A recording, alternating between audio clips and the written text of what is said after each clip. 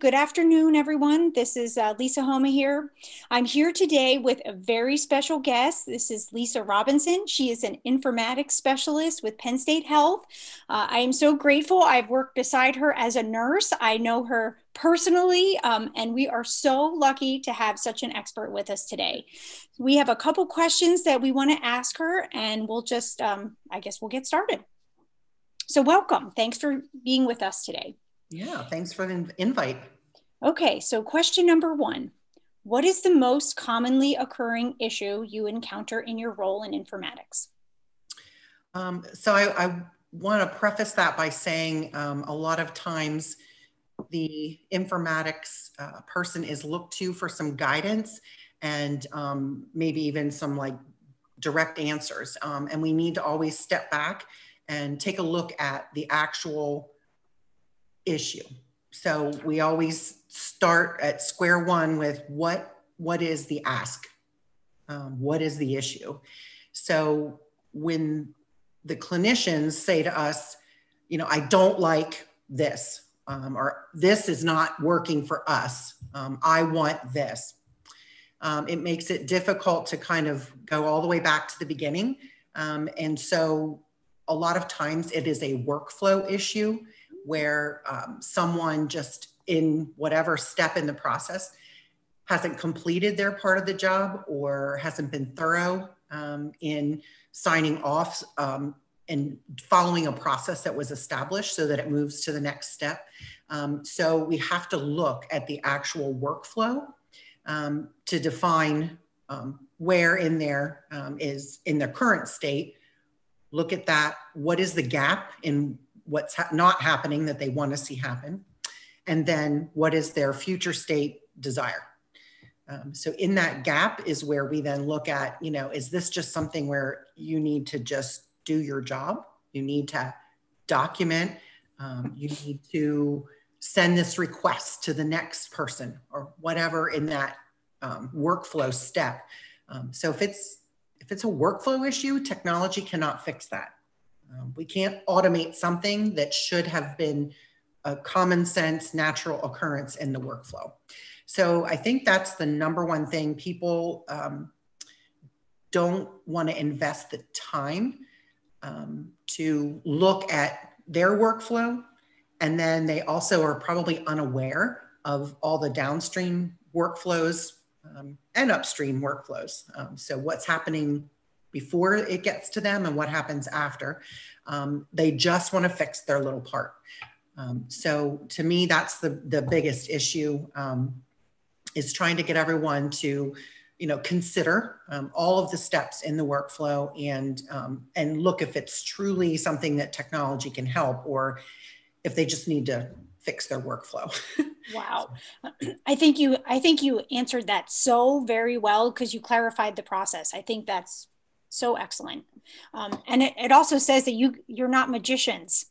You can't fix you can't fix everything and the team has to collaborate and cooperate in order to fix those process issues. Right. And if all of those steps aren't looked at like addressing current state looking at the gap um, considering future state you know what they want um, if all of those aren't addressed then likely whatever technology you put in place to fix that is going to impact other people and break their workflow. So um, wow. you cause a lot of other you know issues. So it's best to invest all that time um, in looking at current state, you know, future state, and the gap, um, so that you can really understand.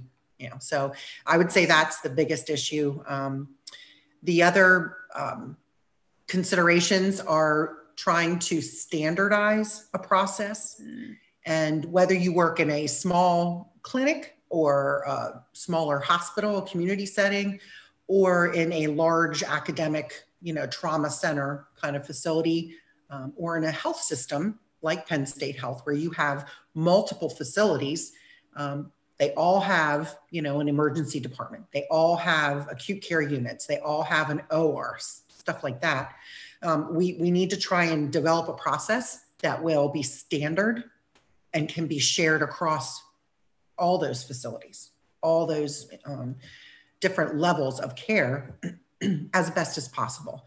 And that way it is um, contributing to the ease of maintaining whatever technology is created.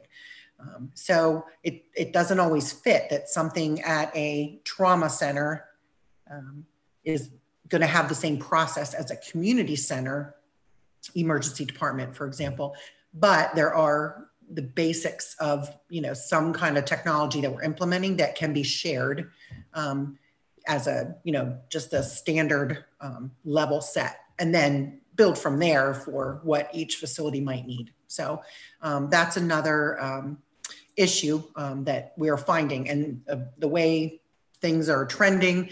Um, health systems are getting bigger and bigger um, and incorporating so all different venues, you know, so eh, making sure that everyone has a voice at the table, uh, whether they're a community hospital with 117 employees or an academic medical center with 20,000 employees, um, that we're looking at all those um, considerations uh, before we implement something new.